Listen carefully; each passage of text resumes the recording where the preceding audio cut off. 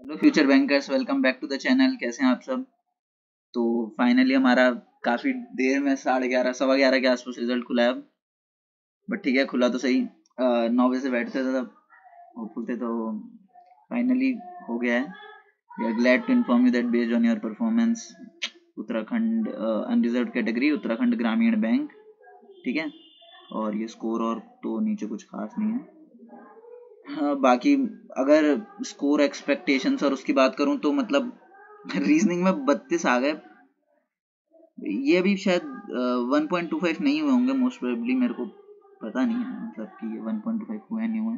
हाँ maximum score चालीस दिखा रहा तो ये वन पॉइंट टू फाइव से मल्टीप्लाई होंगे। कंप्यूटर के हाफ़ से मल्टीप्लाई होंगे और जनरल अवेयरनेस के सेम रहेंगे। इंग्लिश के भी सेम रहेंगे और क्वांट के भी वन पॉइंट फाइव से मल्टीप्लाई होंगे। तो क्वांट में थोड़ा कम आया है, जो मैं सोच रहा था।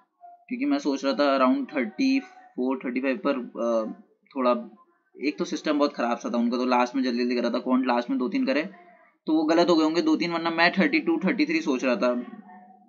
आ, मतलब सही होंगे क्वेश्चन मैंने थर्टी थ्री अटेम्प्ट करे थे तो मेरे को लग रहा था कि सारे सही हैं थर्टी वन एटलीस्ट तो उस हिसाब से थोड़ा कम बट ओके चलता है। और जनरल अवेयरनेस साढ़े तेरह बहुत ज़्यादा आ गया भाई। लिटरली मतलब पढ़ा तो नहीं था इतना इतना क्या कुछ नहीं पढ़ा था। साढ़े तेरह, मेरे को लग रहा था कि आठ, दस ठीक हो जाएँगे जो मैंने करे थे बट साढ़े तेरह, क्योंकि हार्ड आई थी। पढ़ी थी मैंने बट हार्ड आई थी। इंग्लिश में छब्बीस पॉइंट सात पाँच बहुत कम आए पेपर हार्ड आया था इंग्लिश का कंपेरेटिवली देखिए आप कट ऑफ़ भी देख सकते हैं सेवन पॉइंट सेवन फाइव तो पेपर हार्ड था बट उसके बाद भी I was expecting around thirty two thirty one reasoning में ज़्यादा आ गया बत्तीस सोच नहीं रहा था मैं, मेरे को लग रहा था रीजनिंग में काफ़ी गलत हो जाएँगे। काफ़ी गलत हुए भी है मतलब मेरे आठ क्वेश्चन गलत, छह, आठ क्वेश्चन गलत हुए शायद मेरे। क्योंकि मैंने, मेरे को तो जहाँ तक याद है, मैंने सारे अटेम्प्ट करे थे। तो आठ क्वेश्चन गलत होंगे तो फिर तो तीस होने चाहिए थे। शायद छह गलत होंगे मैंने शायद कम करे थर्टी एट करूँगा मतलब मैं कर हाँ थर्टी एट करूँगे दो तीन छोड़ दिए होंगे। ऐसे कुछ करा होगा। याद नहीं एग्जैक्टली बट हाँ रीजनिंग में लग रहा था कि काफ़ी गलत हो जाएँगे बट उस हिसाब से ठीक है, इतने गलत नहीं हुए। क्वांट में जो एक दो गलत हो गया बल्कि क्वांट में काफ़ी श्योर था। मैंने थर्टी थ्री क्वेश्चन अटैम्प्ट किए थे।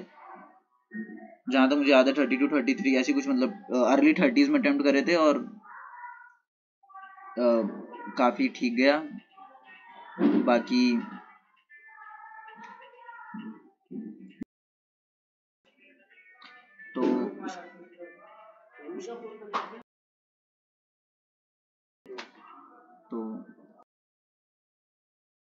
इसके बाद, बाकी अगर देखूँ तो कट ऑफ़ नहीं दिखाई गई है बट अगर जनरल वैसे बात करें तो जनरल में reasoning twenty point seven five मतलब कर देते हैं बच्चे, क्योंकि सब सेक्शनल टाइम नहीं होता ना तो लोग इसी में लग जाते हैं। ये गलती है ये मतलब आप बहुत अच्छा स्कोर कर दोगे सेक्शनल कट ऑफ़ बढ़ा दोगे बट नहीं होता मतलब आपको ऐसा करना चाहिए कि आपको उस हिसाब से फोकस करना चाहिए। जनरल अवेयरनेस में पेपर बहुत हार्ड आया था। तो जनरल अवेयरनेस स्किम करो क्वेश्चन करो, खत्म करो। सेम चीज़ कंप्यूटर नॉलेज में। बट कंप्यूटर इजी आया था तो उसमें आप स्कोर अर्जित कर सकते थे। आप ट्राई करते। सेम क्वांट में क्वांट हार्ड थी बट डुएबल थी। पर अगर आप रीजनिंग में सारा टाइम ना दे दो रीजनिंग के इजी क्वेश्चन करो, उसके बाद आगे बढ़ जाओ। जो हार्ड क्वेश्चन है टाइम टेकिंग क्वेश्चन है, उनमें बाद में आएँगे। आप इंग्लिश में टाइम नहीं दे रहे तो दिक्कत हो जाएगी। पर इंग्लिश कंपेरेटिवली हार्ड थी बट स्टिल इतनी हार्ड नहीं थी। मतलब मेरे को लग रहा है कि तीस तो आने चाहिए थे, मेरे, मैंने काफ़ी गलत कर दिए इतने होते नहीं हम क्योंकि मेरे थर्टी फोर पॉइंट कुछ पिछली बार थे I B P S P O में मेरे उसकी इंग्लिश भी थोड़ी ईजी थी इससे। बट स्टिल मैं जो नंबर एक्सपेक्ट कर रहा मार्क्स मतलब क्वेश्चन कितने सही उस हिसाब से एक्सपेक्ट कर रहा था तो मैं इसमें ट्वेंटी एट टू थर्टी कर रहा था, थोड़े ज़्यादा ठीक हो गए। इसमें मैं अराउंड इतना ही कर रहा था, लग रहा था थोड़े गलत होंगे, ज़्यादा, कर सारे दिए थे, एक दो छोड़ के, बाकी इतने ही लग रहे थे। जनरल अवेयरनेस में ज़्यादा आ गए मैं आठ में सोच रहा था। इंग्लिश में थोड़े कम रह गए। क्वांट में ठीक है थर्टीज में सोच था बट ओके चलता है। और overall one twenty nine point two five मेरा स्कोर आया है। मेरे को लग रहा है सिक्सटी कुछ कट ऑफ़ गई होगी मतलब फाइनल अब दी तो नहीं है इन्होंने बट पता नहीं। अनरिजर्व कैटेगरी की कट ऑफ़ मैं आपको बता रहा हूँ। बाकी ठीक है अच्छा है। S B I P O का इंटरव्यू भी शायद देने को मिले, पिछली बार देने को मिला था। पेपर तो सभी का खराब गया तो मेरा भी खराब गया है बट इंग्लिश में कर दिया तो हो सकता है इंटरव्यू के लिए कॉल आए, जहाँ तक आना चाहिए, पिछले बीस नंबर ऊपर थे। इस बार भी ऐसी पंद्रह से बीस के आसपास मैं एक्सपेक्ट कर रहा हूँ। पेपर से पहले काफ़ी करा था। और I B P S P O के लिए काफ़ी मतलब अच्छा लग रहा है कि I B P S P O के लिए काफ़ी वो है कि बस कोई सेक्शन ना फंसी हो मेन्स में।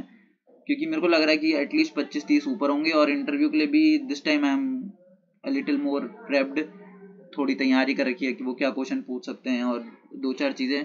और पिछली बार जैसी बेसिक गलती नहीं करनी है, थोड़ा पिछली बार मतलब ब्लैंक हो गए थे, पहली बार इंटरव्यू दिया था तो थोड़ा उसका भी फ़र्क पड़ा था। बाकी न्यू ईयर है हैप्पी न्यू ईयर आप सबको। आने वाला साल आपके लिए बहुत खुशियाँ लाए। बाकी all the best for all of your upcoming examination I B P S P O का रिज़ल्ट भी शायद दो चार दिन में आ जाएगा तो उसकी भी वीडियो ज़रूर से आएगी। और एस बी आई क्लर्क के मैंने मॉक देना चालू कर दिए थे कल से तो उसकी वीडियो भी आज आ जाएँगी, पर मैंने कहा पहले रिज़ल्ट डालते हैं। ठीक है? तो ऑल द बेस्ट